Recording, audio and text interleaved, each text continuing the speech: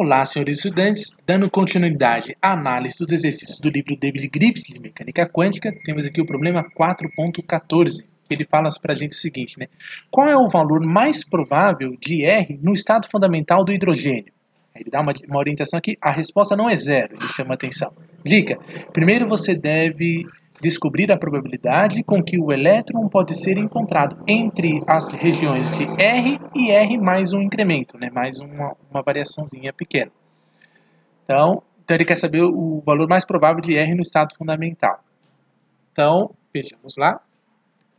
Opa, aqui com o problema 4.14. Então, nesse problema você tem lá a função de do estado fundamental é quando o número quântico principal é zero, o azimutal, consequentemente, vai ser zero, que é a única possibilidade, e o magnético também vai ser zero, também por única possibilidade. Então, só tem um estado possível chamado estado fundamental, que atende à expressão 1 sobre raiz quadrada de π vezes a ao cubo. Né? A é o raio de Bohr, ok? Acho que eu não havia citado isso nos problemas 4.10 4.11 que está aqui no canal, mas agora está aqui representado o A0, A e E elevado a menos R sobre A.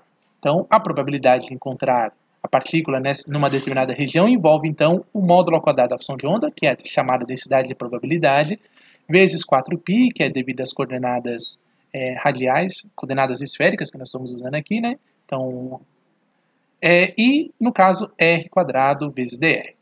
E aqui é igual, já foi feita a integral, vamos dizer assim, né? Em relação ao ângulo polar, que daria o fator é, 2, e no caso, o, o ângulo azimutal, que daria o fator 2π. Aí por isso que está aqui 4π.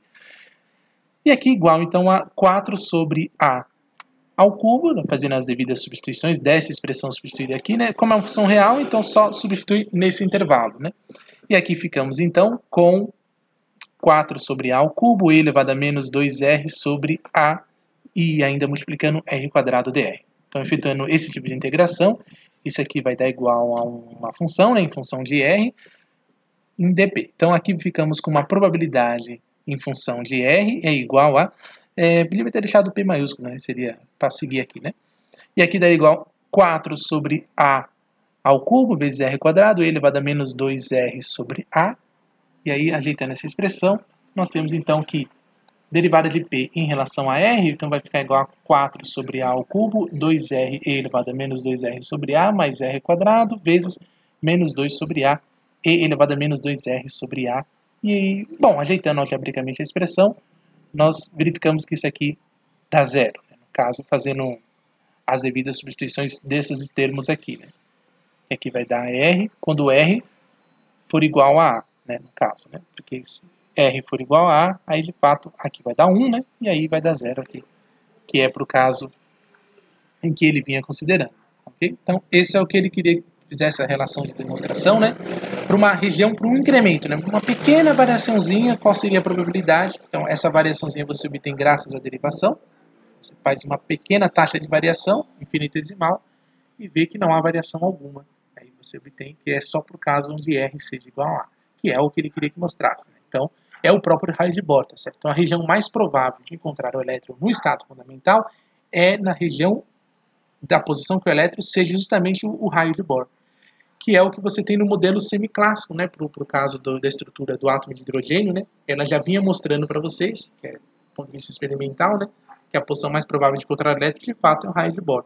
Mas a mecânica quântica, o que ela acrescenta para nós é que não é a única possibilidade de encontrar a posição do elétron em estado fundamental. Existem outras. A probabilidade não é zero nas outras regiões. Só que o mais provável continua sendo aquilo que você observa experimentalmente, porque de forma estatística, né? Você faz medidas várias vezes, e vai obter, na maioria das vezes, mostra que realmente a posição do elétron se encontra no chamado raio de Bohr.